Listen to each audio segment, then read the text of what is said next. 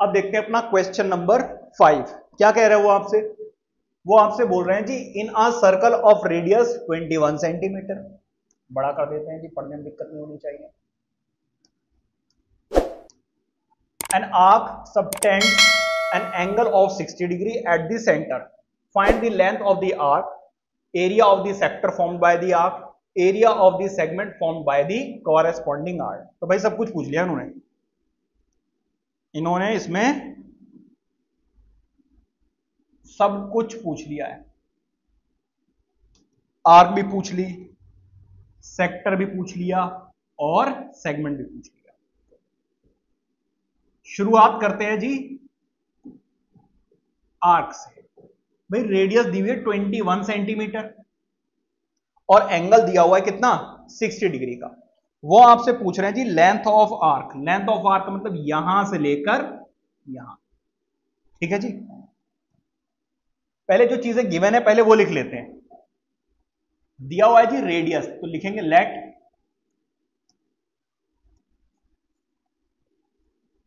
Radius B radius कितनी है जी? 21 सेंटीमीटर और एंगल गिवन है. कितना गिवन है? 60 डिग्री ठीक है?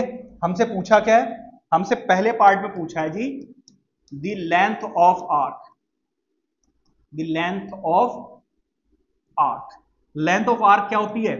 Theta over 360 two pi r कोई दिक्कत? भाई थीटा की वैल्यू कितनी है? 60 डिग्री ओवर 360 पाई की वैल्यू 22 ओवर 7 अच्छा टू भी तो लिखना है सॉरी टू पाई आर। ये सारे इंट्रोडक्शन में बता दिया था मैंने। ये है जी टू पाई की वैल्यू 22 ओवर 7 और आर की वैल्यू कितनी है? 21 ठीक है? अब जरा ध्यान दीजिएगा। ज़ीरो से zero cancel out and six six thirty six ठीक है? सेवन थ्री जा ट्वेंटी वन और थ्री टू जा सिक्स और टू से टू भी कैंसिल आउट इसका मतलब यह है कि लेंथ ऑफ़ आर कितनी आ गई है? The length of arc is equal to 22 centimetre बताइए कोई दिक्कत? ये रहा जी 20 ये पहला आंसर आ गया।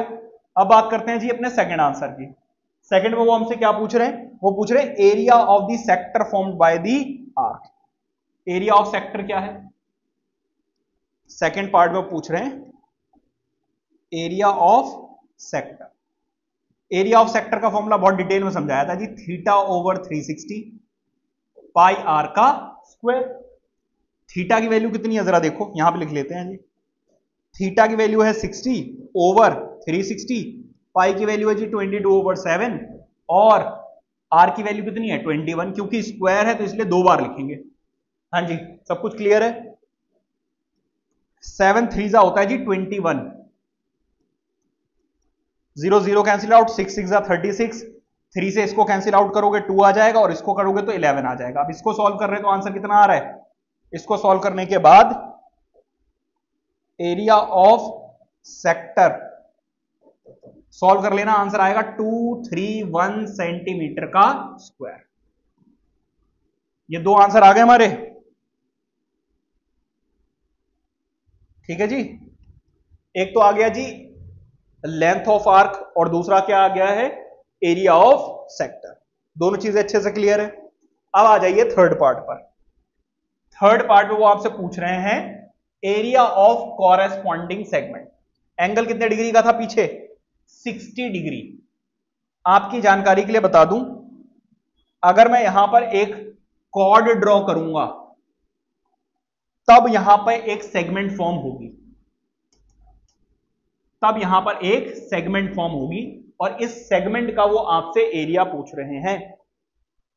अगर आप ध्यान दें तो एंगल सम प्रॉपर्टी देखो ये वाली भी रेडियस है और ये वाली भी रेडियस है। तो ये दोनों तो इक्वल है। अगर टू साइड्स इक्वल हो तो वो आइसोसेलेस ट्रायंगल बन जाता है। और एंगल सम प्रॉपर्टी से सारे एंगल्स का सम 180 होना चाहिए। ऐसा सिर्फ़ तब हो सकता है जब ये दोनों भी 60 60 हो। इसका मतलब ये एक इक्विलेटरल ट्राइंगल है। समझ गए? तो इक्विलेटरल ट्राइंगल वाला हम फॉर्मूला लगाएँगे और आंसर पाएँगे।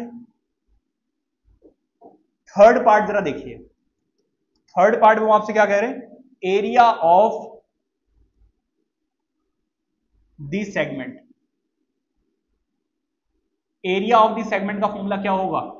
Theta over 360 pi r square क्योंकि इक्विलेटरल ट्राइंगल है तो root three by four side का स्क्वायर ठीक है? एरिया ऑफ़ सेक्टर अभी हमने पीछे निकाला है 132 बार बार निकालने की ज़रूरत नहीं है। ये अभी हमने निका, पीछे निकाला ही नहीं निकाला 132 तो ये तो हो गया हमारा। ये कितना है? Root three by four side का स्क्वायर मतलब 21 का स्क्वायर ठीक है? आप चाहो तो यहाँ पे 21 कॉमन ले लो क्योंकि यहाँ पर भी 21 है और यहाँ पर भी। ठीक है? चाहो तो क्योंकि ये क्या था? मैं चलो बता देता हूँ। ये जो आया था ये आया था 11 इंटू ट्वेंटी वन करके आया था, पीछे चेक कर लेना। तो देखो, यहाँ पर भी 21 है और यहाँ पर भी 21 है तो 21 कॉमन ले सकते हैं तो यहाँ पे क्या बचेगा? 11 और यहाँ पर बचेगा, देखो, एक 21 बाहर निकल गया, एक अभी भी है 21 over root three over four चाहो तो ऐसे छोड़ दो, या एल्सियम लेकर कॉमन निकाल लो। कैसे? भाई देखो, यहाँ पर डिनोमिनेटर में फोर है, यहाँ पर भी डिनोमिनेटर में फोर कर दो तो कैसे आएगा?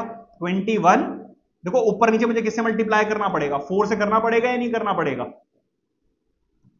जब आप ऊपर नीचे फोर से मल्टीप्लाई कर दोगे तो एलसीएम आ जाएगा। एलसीएम इज़ फोर देखो, यहाँ पर भी वन ओवर फोर है, यहाँ पर भी। तो वन ओवर फोर आप क्या ले सकते हो? Common twenty one over four यहाँ पर आ जाएगा फोर्टी फोर यहाँ पर बचेगा twenty one root three centimetre का स्क्वायर अब मुझे पता नहीं है, पीछे कैसे दिया हुआ है। हो सकता है ऐसे दिया हुआ हो हो सकता है ऐसे दिया हो। दोनों ही आंसर बिल्कुल सही है, क्योंकि एक एग्ज़ाम्पल ऐसा था आपके, उसमें इसी तरीके से उन्होंने कॉमन लेके सॉल्व किया हुआ था तो हो सकता है पीछे ऐसे आंसर दिया हो, इसलिए मैंने दोनों तरीके से कर दिया, वैसे आपका ये वाला आंसर यहीं पे खत्म हो जाएगा। समझ गए? आई होप कि अच्छे से समझ में आ गया होगा। नोट कीजिए।